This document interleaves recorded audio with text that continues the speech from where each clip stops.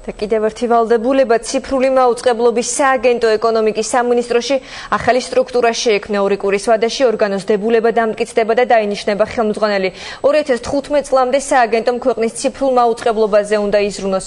ვის შეეხება ცვლილება და ვის დაუფინანსებს სახელმწიფო ეგრეთ წოდებულ რესივერებს? სანდრო ჯუფალაკიანის რეპორტაჟი.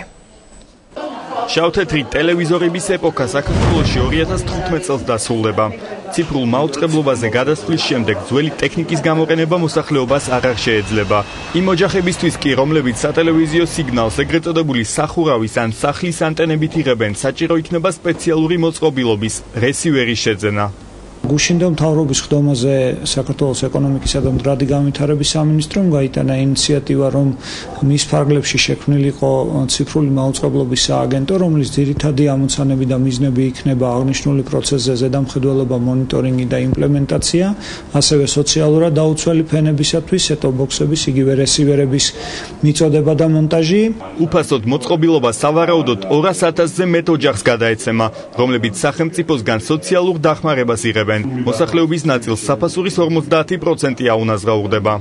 ჩვენი კვლევებით, რომელიც დაახლოებით 6 თვის წინ განახორციელეთ და ეს შეეხებოდა ევროპულ ბაზარს და შეეხებოდა ჩინურ ბაზარს, ყველაზე დაბალი ფასები ლოგიკურად აფიქსდა ჩინეთში და მისი ფასები იწყება დაახლოებით 25-26 დოლარიდან ზემოთ. ჩვენ თავაზობთ, რომ ეს ბაზარი ყოფილიყო ღია, ანუ არ ყოფილიყო ერთი პირისგან ამბისიორების შემოტანა და ასე შემდეგ და ასე შემდეგ.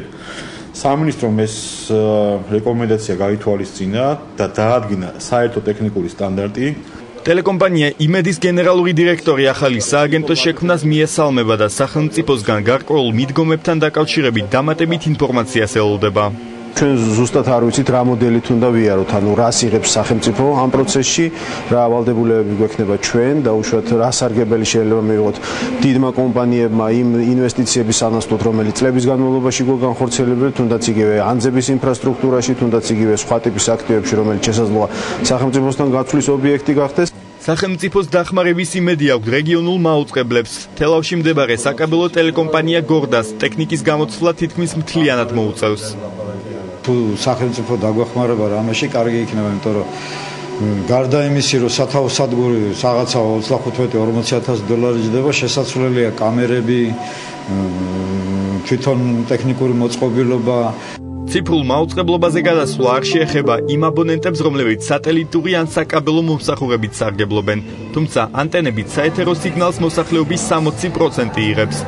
საერთაშორისო სატელეკომუნიკაციო კავშირის წინაშე აღებული ვალდებულების მიხედვით ციფრულ მაუწყებლობაზე საქართველო 2015 წლის 17 ივლისამდე უნდა გადავიდეს. გახტი ციფრული 2015 წლიდან საქართველო ახალი